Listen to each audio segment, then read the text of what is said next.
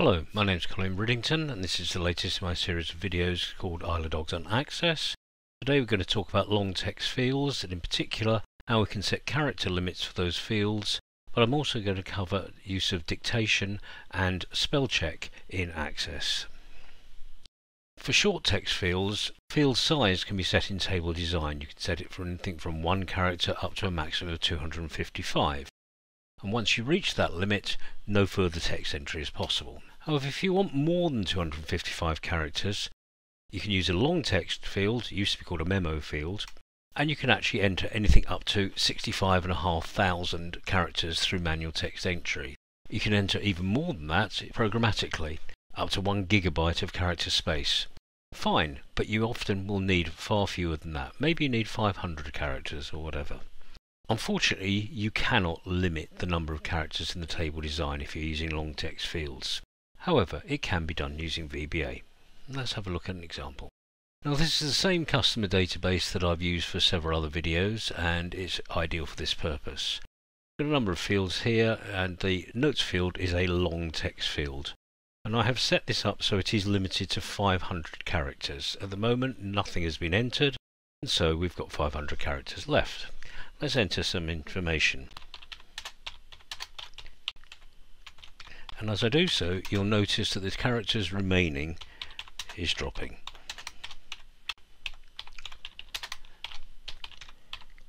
Now that works fine and it will carry on until it reaches zero in the characters remaining. But that's going to take a little bit too long for this video to show you that. So I'm going to speed things up. And for that I'm going to try pasting some information in.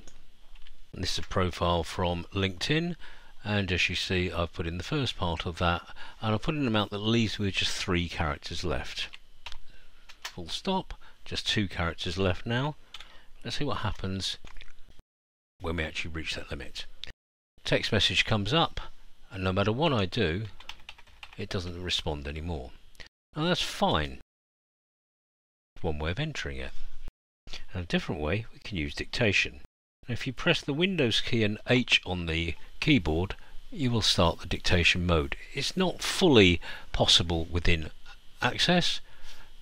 Mary is a highly effective strategic leader of change at service, institution, comma, local, comma, regional and national level, full stop. Mary is the Director of Education for the Marshall Islands Government, full stop. Stop dictating. Apart from the fact that it's actually put in stop dictating there. And there's a few errors there which I can correct there. It actually does work reasonably well. Let's go back to copy and paste. Let me deliberately put in more than 500 characters. Didn't allow that. Too long to be edited there. Seems to be working reasonably well. But sometimes it will allow you to bypass that character limit unfortunately. The safest thing is to stop allowing any copy and paste. And if you want to do that as I've shown in a previous video go into design view for the form go to the property sheet set key preview to yes. And now I have a key down event same as I used in a previous video prevent the use of copy and paste. And if I just show you this here now the key down event it only actually takes any effect at all if the key preview property is set to yes. What this is doing is it's looking for control and V for pasting and it's disallowing that it's setting that key combination to zero. It does the same with control C although you, you don't particularly need that here. We've got a way then of limiting the text to 500 characters maximum. Users can enter less than that but they cannot enter more than that. And if you disallow copy and pasting you can make sure that there is no way of bypassing that. So how does this work? Let's go back to the code again. When the form is loaded it will look for the maximum length allowed and that is actually set as a constant in this table here or in this module here. Normally I'd put that in a, in a settings table but for convenience I haven't done so here. It loads that.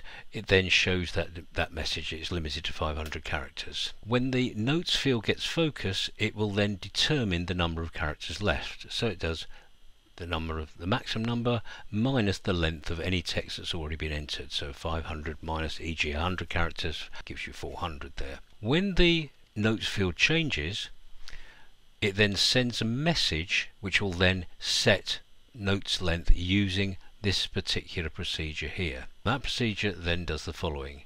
It gets the handle of the control that's actually in use, in this case the notes field, sends a message limiting those, that number of characters, and updates the count as you progress with the typing there. If it reaches the limit, it shows the message box that you cannot enter any more text. Now, for this there's two APIs being used. The send message API here, send a specified message to a window or windows. The function calls the window procedure for the specified window and it doesn't actually do anything until it's been processed. Meanwhile, the Get Focus API retrieves the handle for the window that's got the keyboard focus. But one more thing to show you, and that's a notes field is excellent for use with a spell checker. Deliberate spelling error there. Let's just come out of that field then, and the spell checker comes up. And we can either ignore it or we can change it. And for that, I'm using another bit of code originally by Terry Wickenden many many years ago there and I won't go through that code there but basically allows you to do a spell checker on any individual control or if you wish you can do it on all the controls there and it'll only work in the controls that you choose it to work on. Here I'm making sure that it doesn't for example check the spelling of surnames, first names, company names and so on. To go back to the PowerPoint, we use APIs to count the number of characters as the text is entered. Shows the remaining characters after each entry. Works whether you use keyboard or dictation.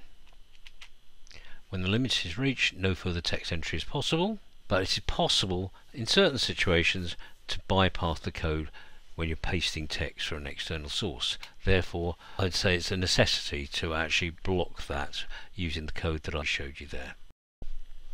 Thanks for watching as always, and as ever, if you found it useful, please will you add a like and leave a comment, suggest topics for future videos, and subscribe so you're notified of any new videos.